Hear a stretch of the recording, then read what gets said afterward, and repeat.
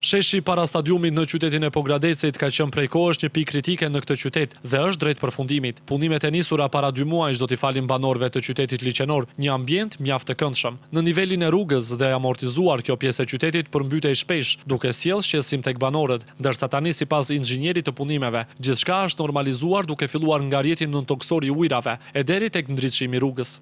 Kjo është zona që ka qenë më problematike në vite.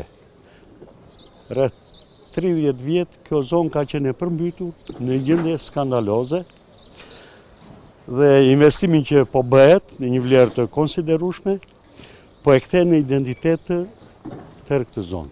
Shumë shpejt do hapet kjo rrugë, është në përfundim dhe maksimumi një javë ne do lidhim bulevardin e e liqenit me këtë pedonale të re, me gjithë degëzimet e rrugës, është zgjidhur problemi i ujërave nëntokësore, ujërat e bardha, që ka qënë problem nga era.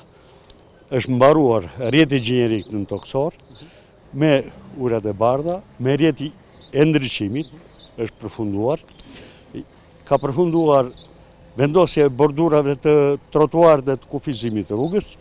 Kanë përfundu shtresat e çakullit, pothuajse është gati. Po linja kryesore në plazhi, në këtë pedonale, me degëzimet në qendrën këtu, them që këtë muaj duhet të përfundojmë. Në përfundim të punimeve, do të mbetet vetëm për t'u vendosur hapësirat e gjelbra, për të cilat do të pritet koha e përshtatshme për mbjelljen e pemëve.